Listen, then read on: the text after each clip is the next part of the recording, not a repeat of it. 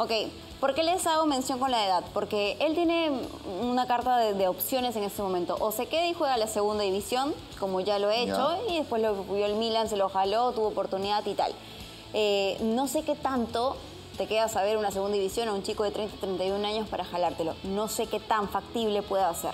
La segunda es que busque tener continuidad y precisamente sea en un equipo de primera división y competitivo. Ahora, es una gran preocupación, lo digo a título personal, a nosotros como selección, como país, porque obviamente era una de las armas fuertes que teníamos en el ataque cuando pensábamos en que no podía estar Pablo Guerrero. Y no deja de serlo. Y no deja de serlo, no señor, para nada, porque ese es un momento en su club, en su equipo, que no quiere decir que en la selección no vaya a poder aportar.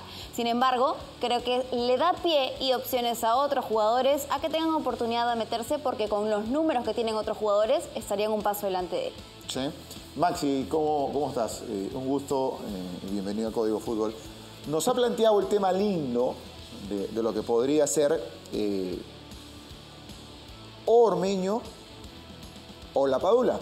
¿Cómo te va? Un abrazo, bienvenido a, Código Fútbol. ¿Qué, piensas tú, por ejemplo? Si hoy tuvieras que escoger, no sé. Si hoy fuera Gareca. Claro, si hoy fuera Ricardo Gareca. Estaría contento porque que, un montón digamos, de pelo. Es, es, un look bien rioplatense. Pantalón, pantalón pegado, las botas, eh, la camisa abierta. Muy del Río de la Plata. No sé si el profe en, su juventud debe haberse vestido así, ¿no? Pero si fueras hoy el profe Ricardo Gareca. Que no lo eres. No, te estaría muy contento Pero vale la pena soñar. No, estaría muy contento por la cantidad de pelo. Y vale la pena ponerse el traje también del profe Ricardo. Por la cantidad de pelo estaría de ahí muy contento. No, ahí, ahí en adelante estaría muy contento. Ahí está.